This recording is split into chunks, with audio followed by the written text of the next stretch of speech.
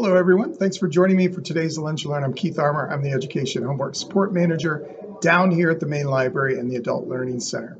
Now, a lot of things are changing. Um, you can come on into the library, please do. But we want to talk today about Discovery Pass. Discovery Pass is a great program that we've had, and I've wanted to talk about it for a pretty long time. However, things have changed uh, with um, COVID restrictions coming down and people being more and more vaccinated. So, this is a great thing to talk about. It is where you can take yourself and your family to some great places in Hamilton County and really um, discover um, how wonderful we have it here in this area. So I'm going to show you how that works and how you can go to these places for free. And I love the word free. Just have to have a library card, but I'll show you how to do that. And then we're going to talk about Discover, Discover Summer. And Discover Summer, I previewed last Lunch and Learn, and I'm just going to go over it very quickly again um, so you have some great activities for your kids from birth, all from preschool all the way up to teens. Um, some great activities for you. And then, of course, we'll talk about some summer programs as well. All right, so let's get busy. Well, all right, we've arrived at our wonderful website, cincinnatilibrary.org. We're going to take a real quick dive and discover summer. It is our great program that we do. We've done it for decades um, trying to get kids involved with learning and reading. And it runs from June all the way until July 31st. And it is Discover Summer. That is the name of the program. Now, you can get your to go pack, and it's all free. You don't even have to have a library card for this one. Um, there are things in the to go pack. There's an activity book, and you can see the activity book is broken down as pre K elementary, middle school, and teen. All right. And it's got a whole bunch of great activities in cooperation with lots and lots of our uh, wonderful favorite organizations. You've got the Y, you've got the ballet, you've got all sort the art museum. You have all sorts of wonderful institutions that we partnered with to can, to come up with some really fun age appropriate activities uh, for all of them to do. Um, and once they finish, uh, I think it's five activities, they could win, they could possibly win some great prizes. Now, the To Go Pack also has a book that your child or your teen can keep. Um, there's also going to be some uh, summer take and make activities to, go with the To Go Pack. And then, of course, if you're if you have a preschooler, um, there's an early literacy calendar for preschool families as well. Now, what we've done is we you pick all of that stuff up at your branch. However, if you can't make it to your branch, you could download and print it at home. Um, but what I also love that what we did this year was we also put in last year's booklet. So if you had a little one that was uh, not not able to participate last year, you can have them not only participate this year, but you can also use some of the activities that were put together last year as well.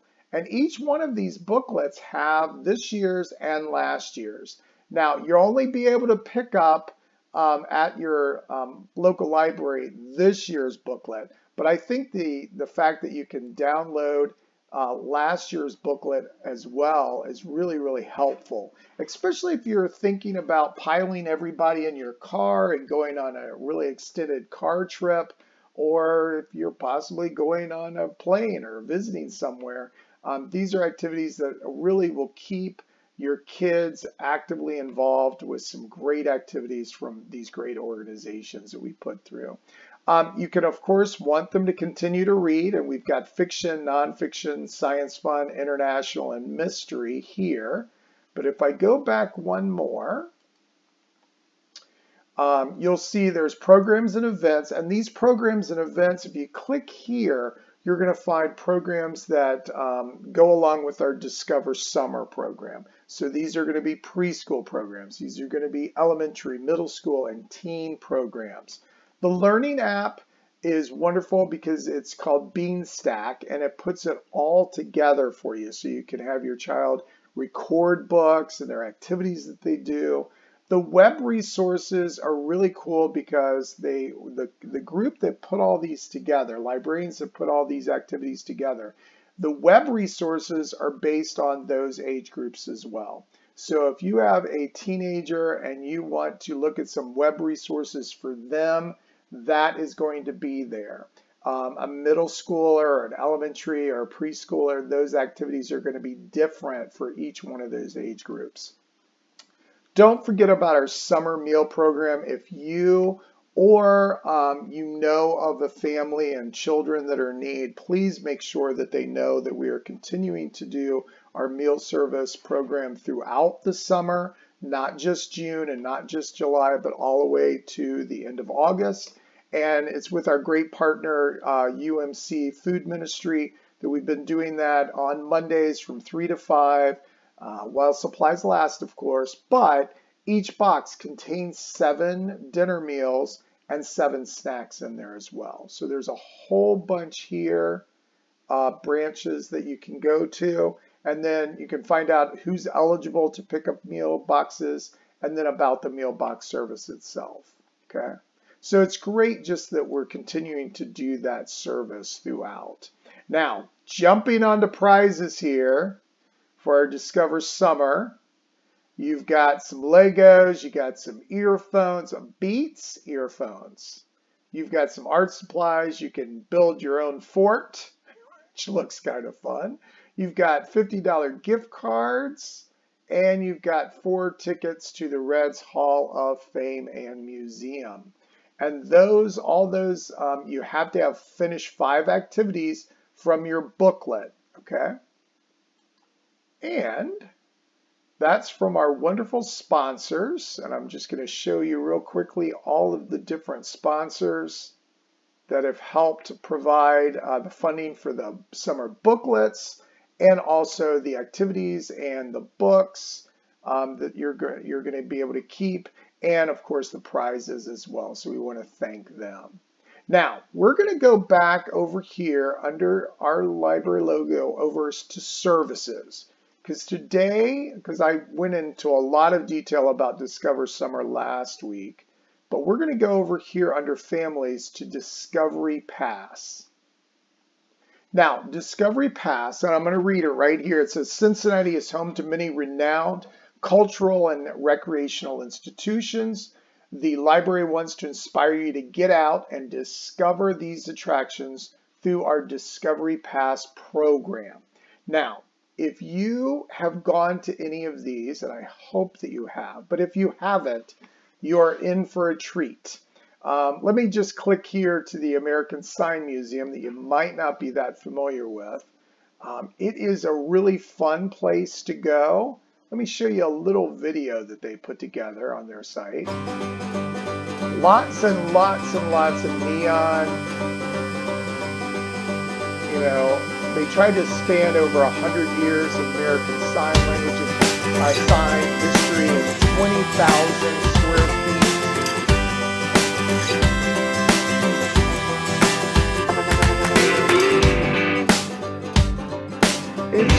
so cool. You get to see so much down there.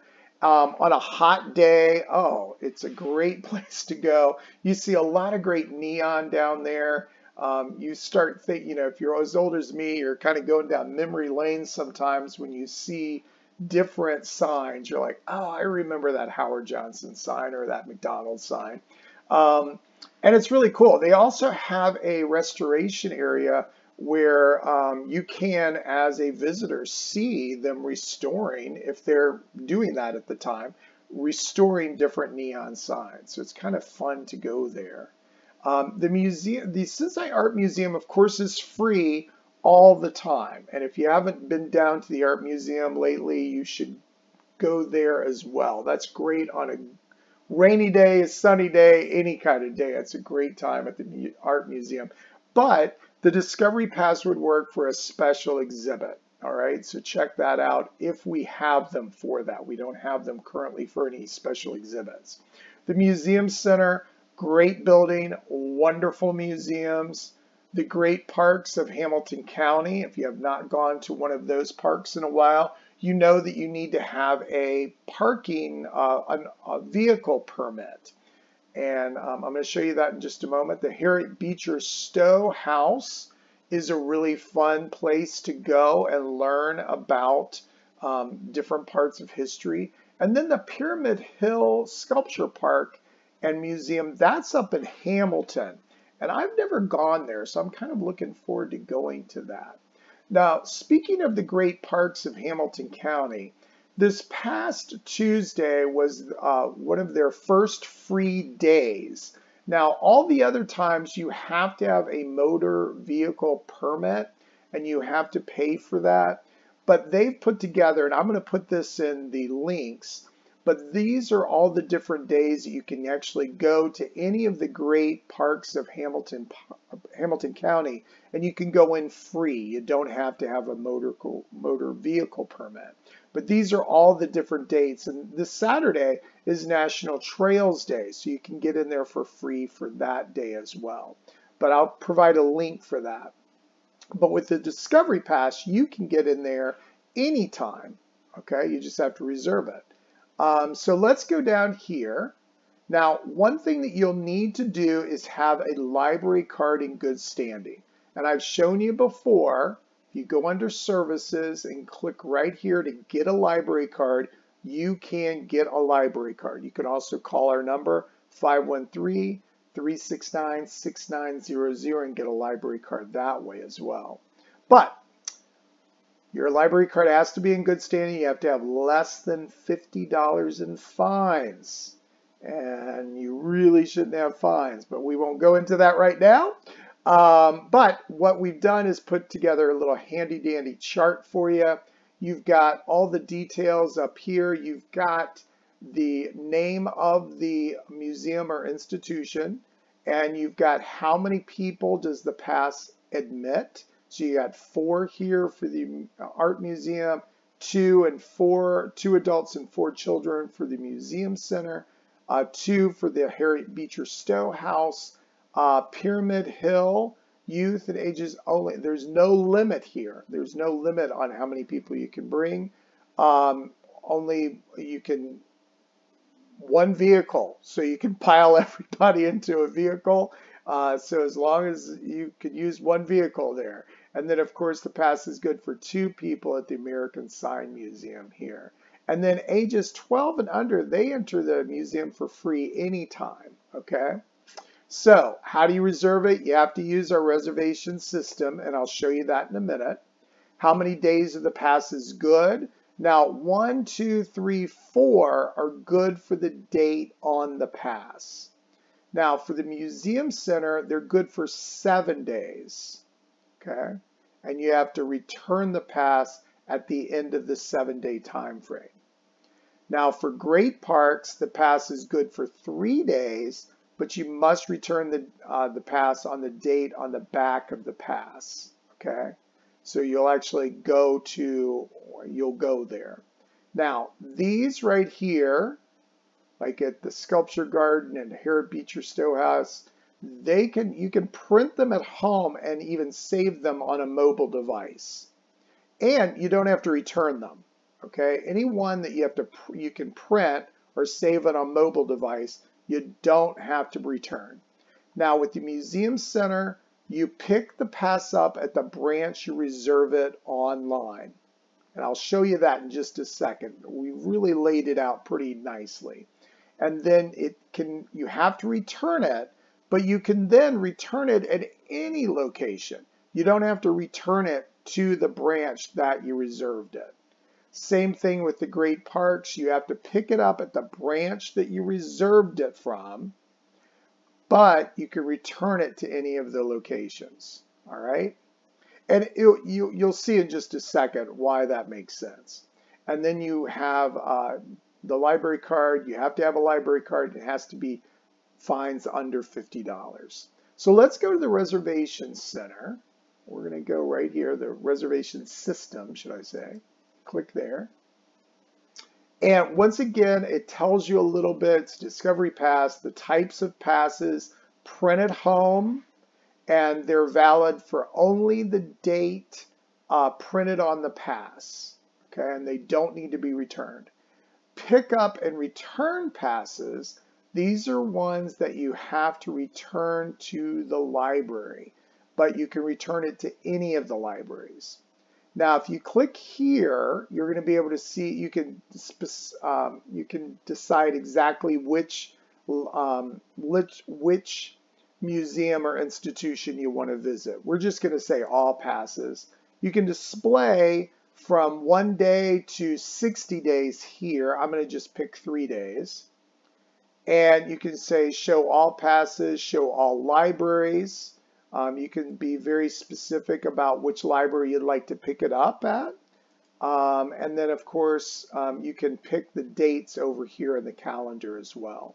Now, I'm going to pick, I don't know why it went to Wednesday. Let's go to Thursday here. So here it is. We've made it very easy. Here's the American Sign Museum print at home. So you know that is one that you can print or save on a mobile device and you don't have to return it. Now here are the Museum Center ones for today. So if you um, are closest to Avondale branch, you could pick up that museum pass for the Museum Center at Avondale. And when you're finished, you can go to any of our locations and drop it off. And since the West End branch is right there by the Museum Center, or um, it's also close to the downtown library. You could use the drive-through at downtown. Just drive up, give the pass back after you've gone to the museum center. Same thing down here when it comes to great parks. Here you have all of the different locations. So if you were going to a great park that's near, if you live near Deer Park, and I know they're anticipating, um, I think we're all anticipating the new um, the brand new and expanded um, library at Deer Park, but the old location is still there. So you can check that out. You can get the uh, permit, the vehicle permit at uh, for Great Parks of Hamilton County at Deer Park, and then you could drop off that permit at any library.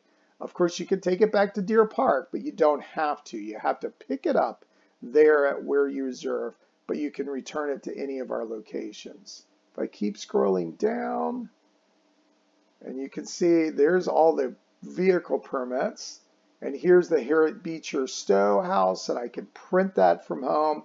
And then the uh, Pyramid Hill Sculpture Park. Now I'm going to click on the Pyramid Sculpture Park. Click right here.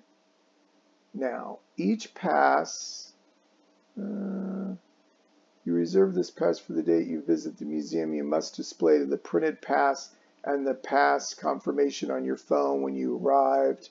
Um, so I'm going to pick the Harriet Beecher Stowe Pass. Tells you a little bit more information. And then I'm just going to go over here to reserve, request a pass. Click there. I'd have to put in my library card number and my PIN. And I'd hit submit. And then you would get a you would get this. So here's the Pyramid Park, uh, Sculpture Park and Museum. Here's the um, printed home. And I took out some personal information that's on there. And then I hit continue and I can even receive some text messages so I can have the message on my device. All right. And that's all you have to do. Now, if we were going to go to um, the museum center, or the great parks, I would actually have to click request pass, still put in my library card number, my PIN, and then the next page would tell you how and where to go. It will tell you exactly where to go to get that pass. All right. So I'll provide a link for all of that in um, the links below so you can um, click on those. Um, let's look really quickly. Once again, you go to cincinnatilibrary.org, go under services, go right down here under families and Discovery Pass, and there you are. And each one of these you can go directly to their website to look at um, what the museum has to offer, especially then. And you can reserve it up to 60 days out. Um, and I just think that makes it really cool that you have that capability. So you're not only uh, Discover Summer, but you also can use your Discovery Pass through the library with your library card. All right, let's look real quick at some events that are coming on. Uh, tomorrow we've got drop-ins, I Spy, colorful shapes at Miami Township, and Miami Township's also doing Brood Bingo. Let's click on that. Brood Bingo. Activity sheet to turn going on a cicada hunt in your backyard or neighborhood into a game. And the cicadas have been a little bit crazy in my neighborhood. There's an I Spy over at Wyoming, and that's part of the Discovery Discover Summer program. And so these little programs here that have that part of Discover program, that would be on that Discover Summer page where you click on it. There's a ice cream party over at Norwood from 2 to 3. That's always fun. Madisonville's having their summer kickoff. And if I scroll down here, let me go to more. Uh, there's donate days at Madeira Branch, and that's the Friends of the Public Library. That's from 9 to 12. There's a Madisonville Sewing Group. Some more Discovery uh, celebrations kickoff. There's a Summer uh, Blooms program that's happening uh, from noon to 1. Summer Blooms of Cincinnati, some cicada celebrations, and Grown Folks crafting. I love the title of that. Um, and that's over at West End. And of course, more and more programs that are happening. A lot of story times outside, a lot of story walks, still some virtual story times, so it's really convenient for you. But check that out. So once again, go to the main site here and you want to go to Discover Summer so you can have all of those activities and then go to Services and you can get the Discovery Pass. All right, I'm going to click out, tell you a few more things, and we'll call it a day. All right, that was today's Lunch and Learn. Um, I hope that you um, get out there and really enjoy the summer. Um, but don't forget about the Discovery Pass. You can get to the Cincinnati Art Museum special exhibits, the Museum Center, Harriet Beecher Stowe House, the American Sign Museum, uh, Pyramid Hill, and of course, great parks.